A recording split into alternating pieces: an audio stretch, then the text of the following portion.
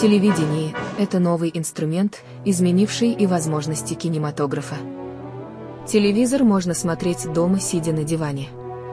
Но кто станет ходить в кинотеатр 8 раз подряд, чтобы посмотреть телевизионный фильм «Строговы»? А дома, лежа на диване у телевизора, можно смотреть кино бесконечно. С этого начиналась телевизионная зависимость советских людей, через которую Соединенные Штаты прошли еще в 40-е годы прошлого века. Телевидение там появилось раньше. Пересказывать содержание этих продуктов очень сложно.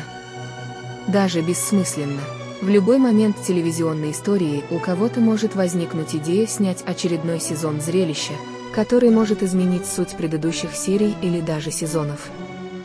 Но телесериалы имели важные цели и задачи государственного масштаба. Поэтому фильм «Строговы» был сделан по роману Георгия Маркова.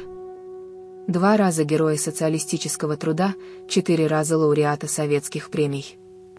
Сталинскую премию в 1952 году Георгий Марков получил именно за роман «Строговы». thank you